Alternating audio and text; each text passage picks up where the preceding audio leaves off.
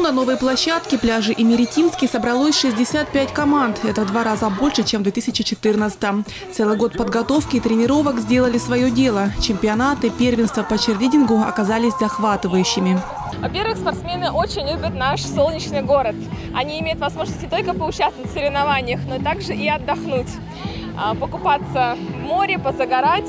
Но и, во-вторых, это прежде всего а, спорт, то ради чего они с несколько месяцев тренировались и приехали сюда за медалями.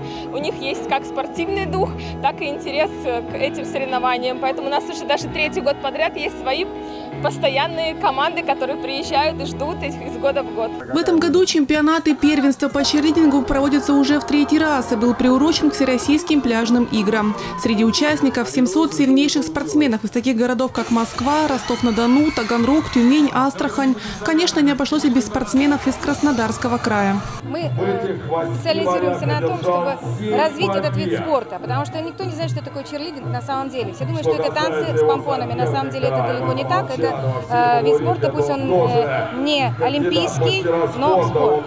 Достаточно тяжело э, он дается детям, но однако вы видели вообще результат, какие детки участвовали, какие детки э, старались. Соревнования проводятся в трех возрастных категориях – дети, юниоры и взрослые. Команды выступали в номинациях чир, чирмикс, чирданс, групповые и партнерские станты. Команда «Грант» из Ростова-на-Дону завоевала медали почти во всех номинациях. Мы очень переживали, честно говоря, но мы работали. Мы работали давно, старались.